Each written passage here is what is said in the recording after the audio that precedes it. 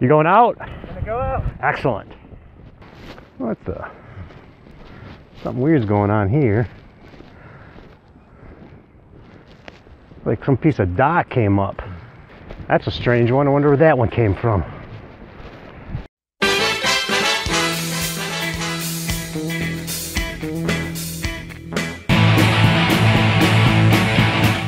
have a MACkite in Grand Haven. I think. Um, they do Give it a shout out. kiteboarding. Who?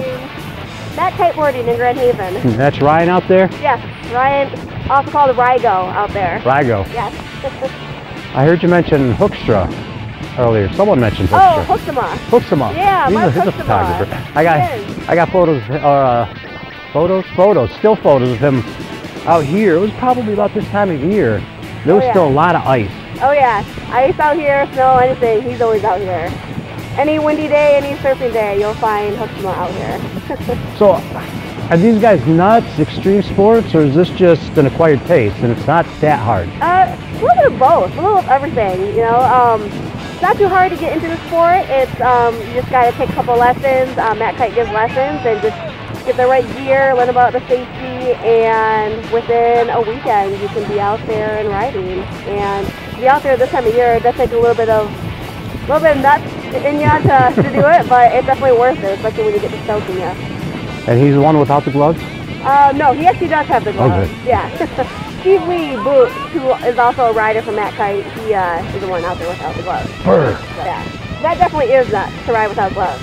So you go out there. I do. Yeah. What's your name by the way? Kristin? Kristin, I'm Yes. John. John, nice to meet you. So is it a workout? Like Um, lifting weights, like running, marathon? You know, it takes a little bit of strength, um, your legs, um, a little bit in your core, but it's really not that bad. Anybody can do it. Little kids can do it.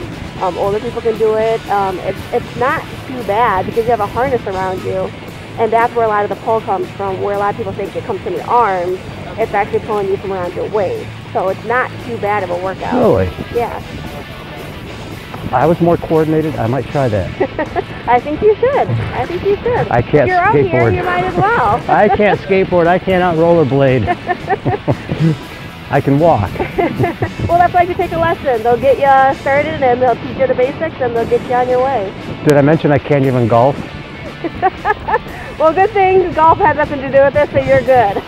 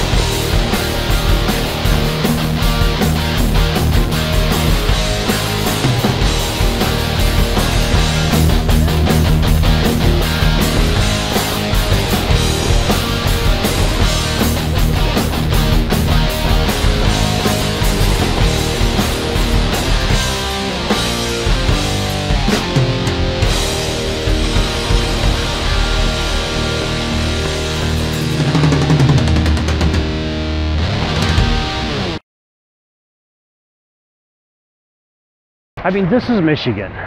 This is my hometown. I'm half Yooper, half troll. The Yooper is someone in the Upper Peninsula, and a troll, well, the Lower Peninsula is under the bridge, so that's why we're trolls. I'm a half troll. And when we get on our favorite social media site, Facebook is mine, my timeline is riddled with clickbait. We all hate the clickbait. And the worst part about it is that there's no real content. It's a website with so-called journalists and just swipe a bunch of pictures and information that somebody else worked to make and uh, they call it their own and throw a bunch of ads on it. There's a bunch of them that try to keep it local. So maybe they'll have the top 10 reasons why your state is the best. And of course, they have 50 similar. Stop it. I'm whining. I'm being a whiny baby. I'm so sorry. I'm supposed to be ranting. Let's take a look at a specific article from a specific website, from a specific Facebook page. It's called Only in Michigan. The headline reads, The Ultimate Michigan Waterfalls Road Trip is right here. What's right here? What does that mean? Now, let's say hypothetically we're downtown Detroit. This road trip starts at Potawatomi Falls, the western end of Michigan's Upper Peninsula. If you're in downtown Detroit, this may as well read your ultimate Empire State Building road trip is right here because it takes the same amount of time and same amount of miles to drive to the Empire State Building as it does to Potawatomi Falls.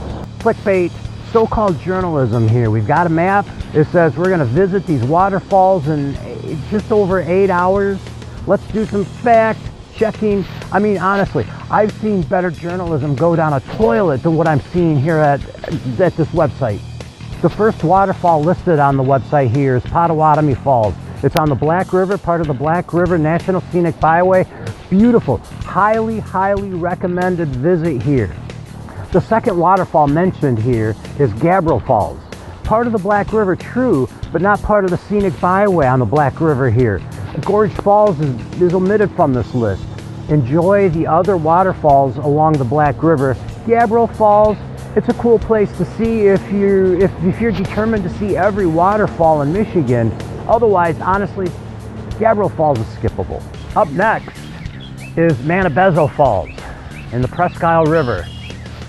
Newsflash, this is not Manabezho Falls. Journalism should be fact-checking their stuff. The name of this waterfall is Unnamed Waterfall. The next waterfall, Manido Falls. Yes, it's on the Presque Isle River. This is the correct waterfall pictured here. Now the Presque Isle River, Black River, not far apart. Enjoy the Black River Scenic Byway and then go over to the Presque Isle River and enjoy the waterfalls there and then enjoy a little bit of the Porcupine Mountains. There is a perfect waterfall wilderness day trip.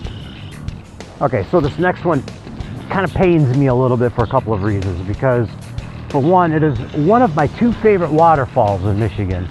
And for two, see, I, this is about the journalism, not about the well-meaning photographers, most of which I'm sure are amateurs and hobbyists. And hey, they're just putting their work up there. They love their work. They want to show it off. And so they might get a fact or two wrong, or they might take a picture that maybe most photographers wouldn't take. Now, this particular photo of Bond Falls, this particular angle of Bond Falls, I should say, I've seen before. I've seen many times. I've seen some top-notch pros take a photo of Bond Falls from this angle. Personally, not my choice of how I would represent Bond Falls. Therefore, really, the burden is on the journalism here once again. Uh, let's take a look. This is Bond Falls. And this is Bond Falls. And this is Bond Falls. Yes, you can see why it's one of my favorites. And then if you're stopping at Bond Falls, definitely just a few miles away, visit Agate Falls, another beauty. If we're considering Bond Falls one of my favorite waterfalls, this waterfall that's pictured here is also a big favorite.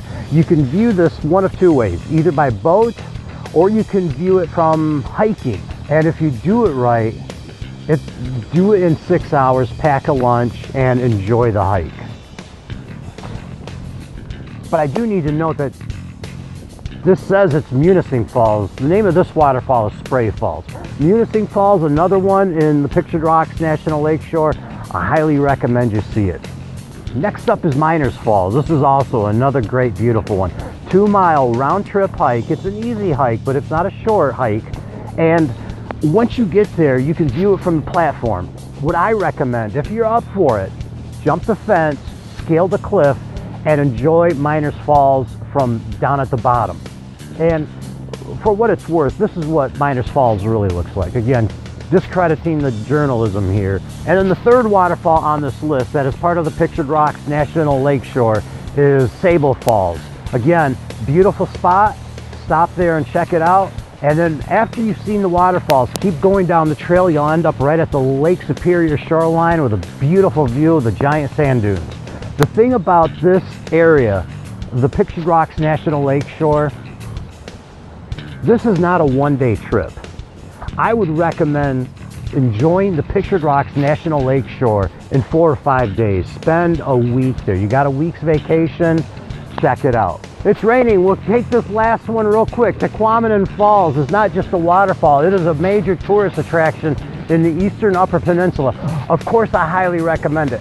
And if you're spending an extended weekend, maybe you're hitting Mackinac Island, the Great Lakes Shipwreck Museum, Tahquamenon Falls is a must-see, and it is a must-see year-round. They've got a nice brew pub there, stop for lunch and a beer. Rain or shine, it is a great destination. Rain, shine, or snow. It is also an extremely popular spot amongst snowmobilers. Photo tip of the day. If you notice during this rant, I intentionally selected some really cool spots to take advantage of the fog. Areas in the background looked faded compared to areas closer to the camera. Now when we photograph, whether we're using our phone or a nicer big DSLR camera, what we're doing is we're taking our marvelous three-dimensional world and condensing it into a two-dimensional package. When you take advantage of something like fog and haze, you add more perspective to the photograph, to the image. You make it just a little more three-dimensional. That's how that works. I'm John. Thanks for joining us. And remember, keep pulling that trigger.